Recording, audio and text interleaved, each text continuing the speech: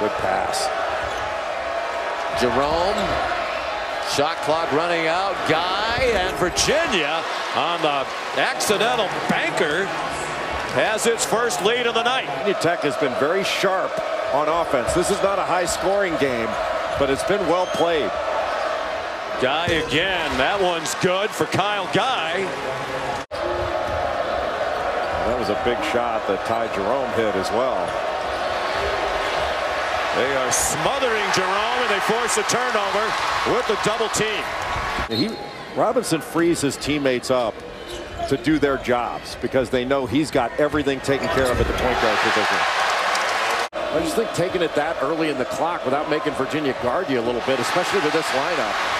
Guy turned it over. Ahmed Hill goes right into Jerome and scores. They're tied again at 34. Boy, Virginia's help defense has been very good. Tough shot by Jerome, fading away from three-point range. Ty Jerome. Three of them in this game. DeAndre Hunter right on cue. That's a long two.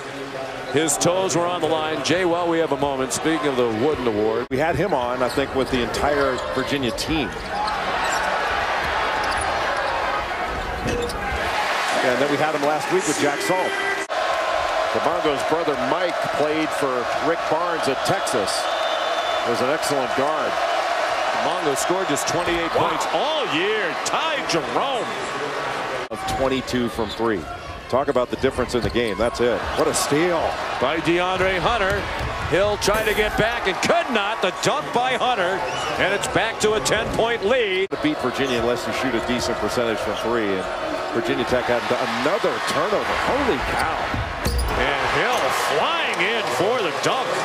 Without Justin Robinson, it has not been easy.